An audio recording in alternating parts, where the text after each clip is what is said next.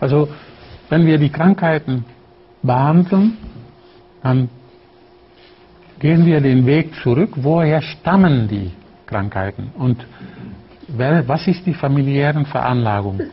Und wenn wir das klar bekommen, dann sollen wir das zuerst behandeln. Ist auch logisch, denn der Patient leidet von diesen Beschwerden. Und daher zum Beispiel mit Rheumatoide Arthritis Eins der Hauptmittel in der akuten Situation ist, ist Röstoxicodendron. Röstoxicodendron mit Schwelling von den Gelenken und äh, Hitze und äh, Steifheit und äh, Verschlimmerung durch Kälte und Verschlimmerung, äh, Verbesserung bei Wärme und Verschlimmerung durch Stillsitzen und Verschlechterung, Verschlimmerung bei, bei Aufstehen vom Sitzen und Verbesserung bei durchgehender Bewegung.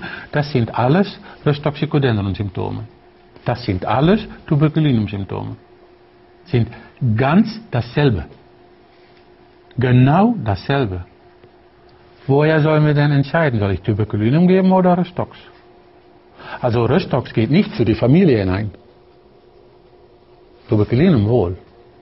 Und Tuberkulinum ist weniger fähig, die akute Situation äh, zu reduzieren und wieder zu, äh, zur Ruhe zu bringen.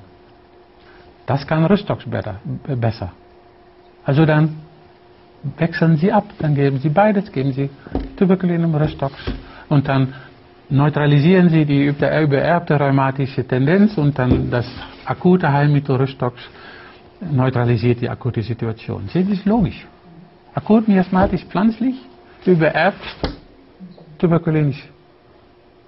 Und das sind unterschiedliche Mittel von unterschiedlicher Reichen die, die interferieren nicht, die helfen einander.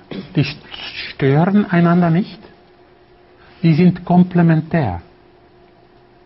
Die machen die Reaktion heil. Sie, es, sie drehen den Hahn der Erblichkeit zu und sie reduzieren die akute Situation. Es ist ganz einfach, es ist, es ist logisch, es wirkt ausgezeichnet und dauerhaft. Sie brauchen nur Spuren der Krankheit zurückverfolgen können bis zu weit in die, in die Vergangenheit zurück. Und dann ist es wirklich irre, dass sie mit einer Nosode eine Krankheit, die die Ursache 100 Jahre zurück, wovon die Ursache 100 Jahre zurückliegt, dass sie das können neutralisieren können. Die Nosode wirkt 100 Jahre zurück. In den Patienten jetzt. Es ist wirklich, es gibt keine andere Möglichkeit. Bedeutet das, dass pro Patient muss man einmal durch das, Erb das Erbliche durch und ist dann, ist dann gut oder kommt man dann immer wieder bei jeder Behandlung nee. wieder darauf zurück? Nee, da kommt man, wenn, wenn, wenn der Patient die Nosode eine Periode äh, in, genommen hat und in Situationen, wo er anders krank ge, äh, wo, äh, geworden wäre. Wenn er da nicht mehr krank wird, da weiß man, beinahe sicher, dass man die Erbtendenz neutralisiert hat.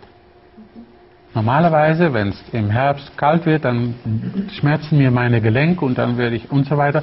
Und sie haben Tuberkulinum gegeben und China und Rustox und äh, sind jetzt dann bei Calcarea phosphorica angelangt und sie haben nur Calcarea phosphorica und der Patient äh, im Herbst nichts, kein Problem. Da wissen sie sicher, dass sie das über Erbte neutralisiert haben. Und wenn er sich fünf Jahre später ein Bein bricht?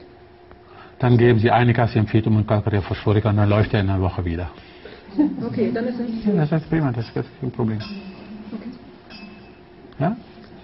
War schön, heute Morgen habe ich halt gehört über einen Kalb. in vier Tagen heilt das aus. Gebrochene Knochen heilt man in, in, in, in einer Woche. Nur, es soll nur der anatomische Zustand äh, richtig äh, hergestellt, wiederhergestellt werden und einen, stabilen Bruch. Und dann ist es Einika, Symphytum und Calcarea und in einer Woche ist es geklappt. Das ist,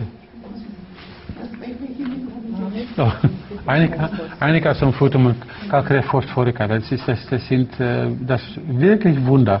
Das heilt so schnell, wie sie zum Beispiel auch eine, eine Beschädigung an, an ihrer Hand, äh, das dauert eine Woche oder in einer Woche ist die Knochen auch geheilt. Da kann, da kann man wieder laufen.